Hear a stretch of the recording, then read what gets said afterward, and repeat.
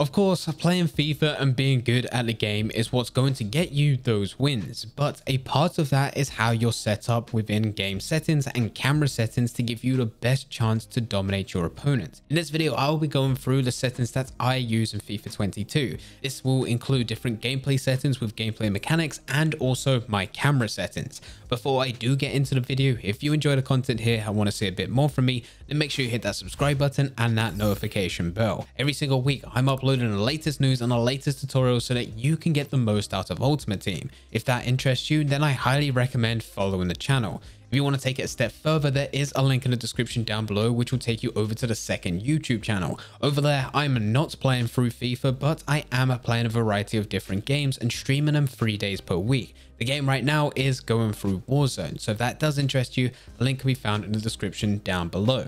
And getting back into the video, when we talk about settings, let's be honest, it's not going to take you from being the worst FIFA player ever to the best with just a few simple changes, but it will make your viewing experience a lot more comfortable and you'll learn about gameplay mechanics that are overpowered and you can use them when coming up to your opponents.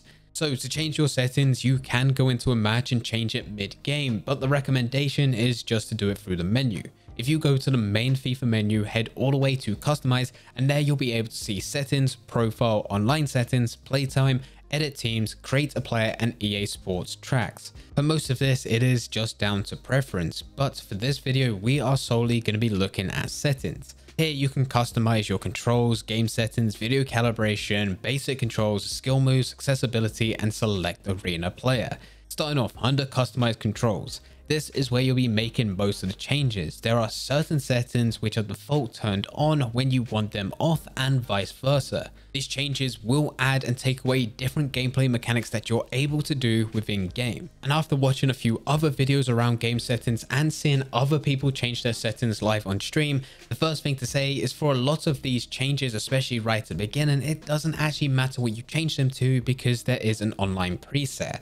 A good example of this is the competitive master switch. If you turn this off, you'll be able to change settings such as contextual agile dribbling, auto clearances, auto flair pass, auto shots, assisted headers, jockey, through pass assistance, and defending. And some of these settings sound like they'll be great helpers within game, especially if it's a one-on-one -on -one chance where it takes control with an auto shot and puts it in the back of the net. But unfortunately, all of this doesn't really matter. All of these settings here will only have an effect on you if you're playing single player game modes such as career mode. Once you head into online, all of this is set to manual. EA are not going to be assisting you within any of these areas once you get into an online game, especially if this was a setting that you can turn on or off. My recommendation is to select the competitive master switch, turn it to on, and then it will grey out all of these other options. Next up, we have the FIFA trainer. This one is entirely up to you. Personally, I have it on, but I have it on just timed finishing.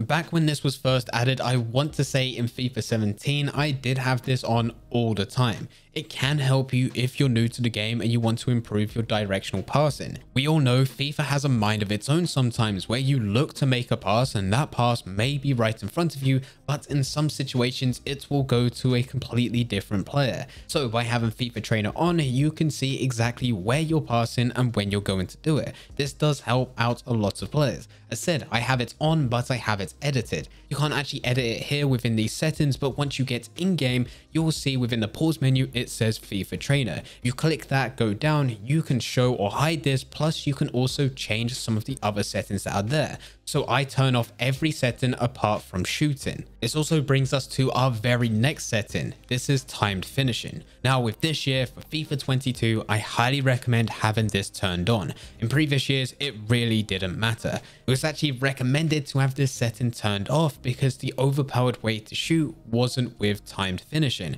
But this year, goalkeepers are overpowered, especially inside the box. So if you can have time finishing turned on and you can learn to time it correctly, you will be hitting a lot more goals, especially once you're inside the box, which is a lot harder this year.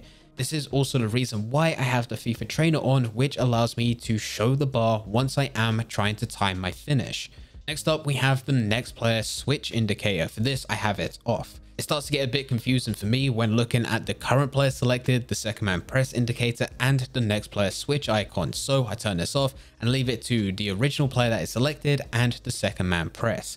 After this, we have the pass block assistant. I leave this on. You may find that you want to turn this setting off because a player has just automatically launched over the ball and if he just stood there, it would have been perfectly fine. He would have actually blocked the shot or intercepted the pass. But if you was to turn this off, it will also stop the players lunging for the balls that they've been easily able to get. And then you'll have situations where the player does just stand there despite the ball rolling just a foot in front of them and them not make an attempt to get the ball. There's been many times when I've been frustrated trying to change this myself and it's always proven to be better to leave this on. Next up, you have auto switching and you have a choice here. You can leave this on air balls and loose balls or just air balls. It can be very infuriating when you're trying to switch the player, but the auto switching takes over and it just doesn't give you as much control. You do still want it on air balls because there will be a lot of times, especially in corners, when you're trying to select to the closest player, but because there's so many players within the close proximity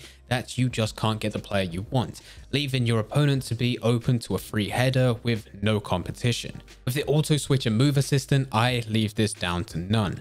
I want to immediately move into position that I want with the player I want and not have it slowly blend in with the current player's movements and animations. With clearance assistance, I set this to directional. On the classic clearance assistance, you have no say in direction or power. And there have been players that have complained about this before in previous years where there's been clearances where the player has automatically booted it into the back of their net. Now this is a one in a thousand chance of this happening. There's also been complaints of players just booting it out for a corner when they could have just easily left it or there's even been clearances where they put it right into the opponent's feet right in front of goal. One of the best things you can do is directional and even though it still is assisted in some way you can actually aim off where you want to put the ball. In most cases out to a throw in. It just gives you a bit more control. Next up, we have the player lock. For this, I just leave this on. This just gives you a bit more freedom when using the left and right analogs. Most of you will not be using this, but there's no issue in having this turned on and not using it. It was always there if you need it within game. With icon switching, I have this turned on. Very similar to the player lock, most of you probably have never used this feature, but it is a pretty decent feature to use. It makes things a lot more efficient to the players that are closest to the ball. You can press the right stick in and it will give you a selection of the nearest four players to the ball. You can then select whatever direction you want with your right analog stick and it will select that player. It really helps move players around once you're trying to stop a counter attack. The next setting is right stick switching. This I leave to player relative. With the ground pass assistance, you want this on assisted. If you go and put this onto semi or manual, it just becomes a lot more difficult with the direction and power of the pass. It'll make your attacks a lot slower as you won't be passing directly to the player that you want. It won't be the exact power that you want. So you'll need to run back and track back with that player to retrieve the ball so you can carry on pushing forwards. It's also the exact same with shot assistance as you want this with assisted as well. With a cross assistance, this is where we can take a bit of difference. You either want this on semi or you want it on assisted. The reason that you have a choice here is because once you get down that wing and you are putting it across, there's only really one direction in which you can go. You can have it semi-assisted where you're looking for the exact location and direction, but it will assist you with the power. This is not a problem. This can still be used and it can still unlock a lot of chances within game. You just have a bit more control over it. You can then leave the lob pass assistance as assisted and finally you have save assistance which actually doesn't matter when playing ultimate team. This only matters when you go into pro clubs or playing as a goalkeeper within a career mode, in which you still kind of want this as assisted. We move on to analog sprinting. For some of you guys, you may like this. Personally, I have this off. Analog sprinting is where you can use your right stick and depending how far you push this forward or backwards will depend of how fast that player is sprinting for their max pace. As I want my players to always be on their feet and always be going to their max pace, I turn this off. But if you want a bit more control in how you're dribbling, then you could leave this on as it will decide the pace of the player. With the pass receive lock, I leave this on early. This setting seems to confuse quite a few players, but it's simple once explained. It's based on the direction of your pass after you've pressed the pass button.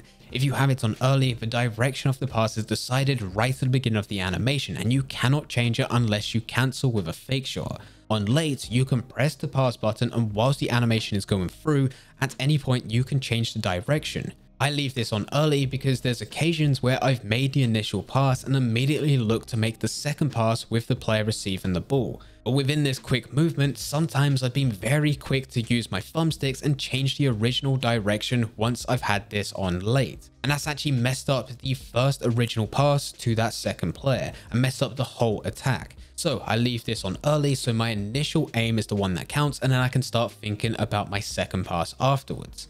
The last thing for these settings is if you're a PlayStation user, you will actually have vibration settings, in which you can either have these off or on, yet again entirely up to you. Now these are the main gameplay settings, the only other thing that players like to change is their camera.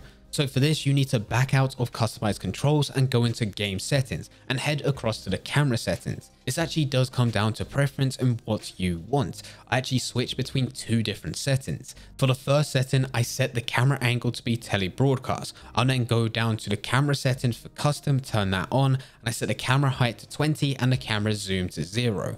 As you can see on screen, this is the way that this camera angle will look. It's not too far away, it's not too close, and I find that I actually defend slightly better when using this. I just find it easier to line up players when going into tackles. The second setting that I go through is a lot further out.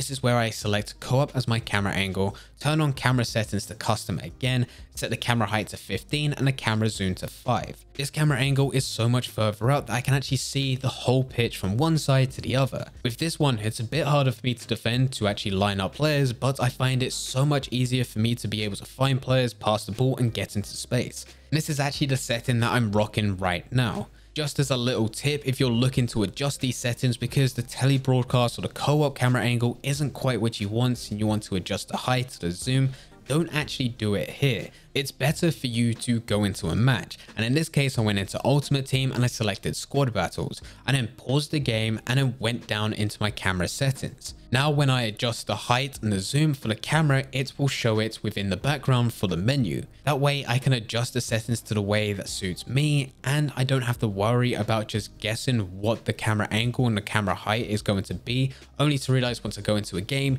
it's not what I imagined. You can actually make changes and see them in real time. And as you're dealing with a single player match, in this case it's squad battles, you can just pause it whenever you want. You don't have to worry about getting disconnected. You don't have to worry about there being a timer.